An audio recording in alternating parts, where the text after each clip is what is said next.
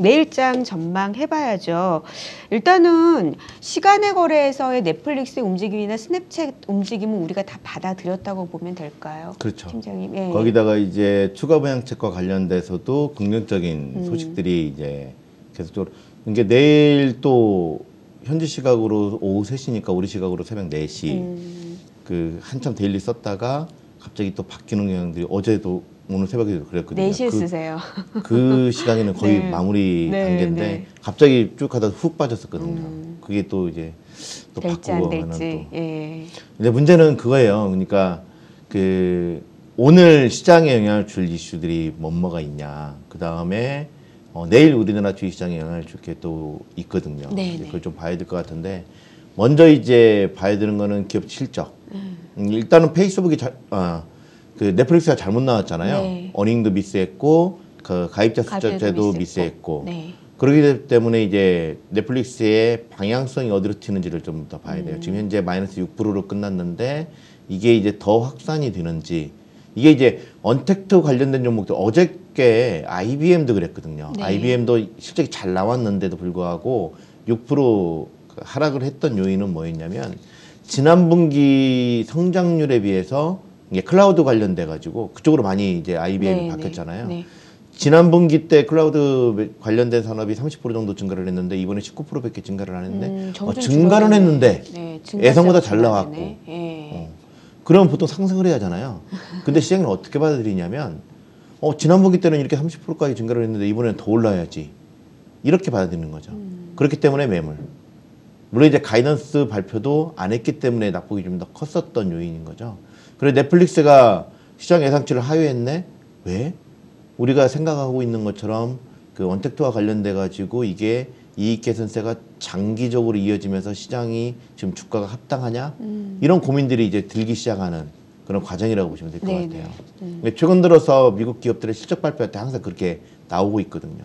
그래서 넷플릭스 실적 발표 이후에 뭐 준비디오라든지 뭐 여타 이제 우리 그 언택트와 관련된 언택트 생각나는 있잖아요. 종목들. 예. 네, 그런 종목들의 방향성이 어디로 튀는지가 좀 관건이고요. 음. 그 결과에 따라서 내일 우리나라 주식시장에서도 관련 업종들의 변, 변화가 확산이 될지 좀 챙겨봐야 될 것 같고요.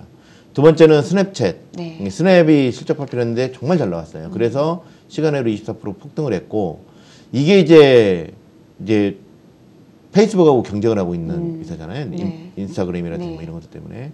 근데 이제 페이스북도 어, 우리도 잘 나올 것 같아 라고 해서 지금 시간으로 2% 뛰는 거고 어, 온라인과 관련되니까 구글 알파벳도 어, 우리도 1% 넘게 뛰는 거고 음. 그러다 보니까 이제 대형 기술주들이 애플이나 아마존이나 이런 쪽들이 강보합권을 지금 현재 시간으로 음, 보이고 있거든요. 광고 쪽이니까. 자 거기. 그러면 오늘 미국 증시를 이끌 만한 지금 현재 주가만 보면 넷플릭스를 비롯해서 이런 쪽은 밀리겠지만 대형 기술주 같은 경우는 강세를 보일 수 있는 여건들이 현재까지는 나와 있잖아요. 네, 네.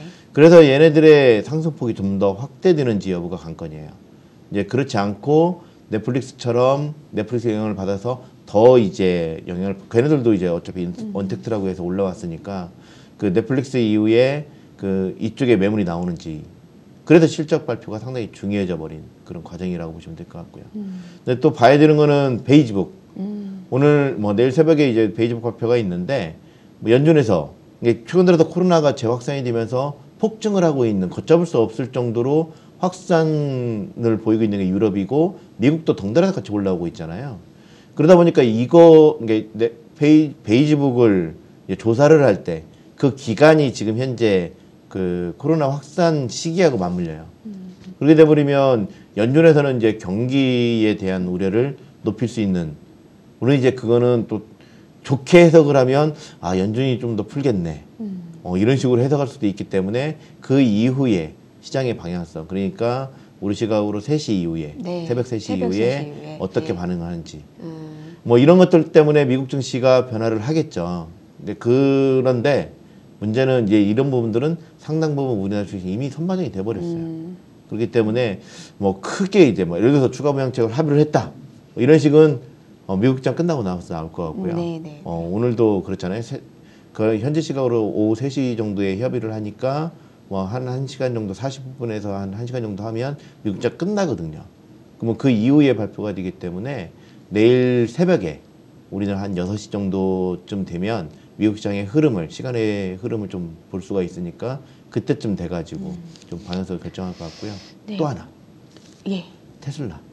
내일인가요? 네 내일 새벽. 어, 시간에 그러니까 끝나고 장 끝나고 나서. 끝나고 나서. 예. 테슬라가 실적 발표를 했는데 어, 예상은 지금 현재 흑자를 계속적으로 보일 것으로 예상을 하고 할 있어요. 것이다. 네. 왜냐면은 이제 쪽그 탄소 배출권 관련된 수익이 여전히 올해 음. 정도까지는 계속적으로 이어질 수가 있기 때문에 사실 그게 좀 기여도 높았다면서요. 그렇죠. 예. 이제 사실은 영업이익 전체 이게 순이익 난 거 있잖아요. 그거보다 더 많았으니까 음. 이거를 제외해 버리면 자동차 팔아서는 적자였던 아직은 좀 거죠. 기다려 봐야 되네. 어, 이제 그런 부분들이 음. 과연 어떻게 반응을 하는지 음. 테슬라 실적 발표 이후에 어, 주가의 방향성도 상당히 주목할 필요가 있다라고 보시면 될 것 같아요. 음. 그거에 따라서 내일 우리나라 주식시장의 변화는 상당히 음. 근데 그 부분은 이제 내일 아침에 이제 채널 K 네, 방송을 좀 집중적으로 보시면 말씀하실 것 네, 같아요. 그 예. 부분 같은 게 말씀을 드릴 테니까 좀 찾아보시면 될것 그럼 같습니다. 변동성적인 측면에선 장중에는 이제 부양한 협의와 관련해서 또 그때 3시 이후로 4시 정도에 출렁거리냐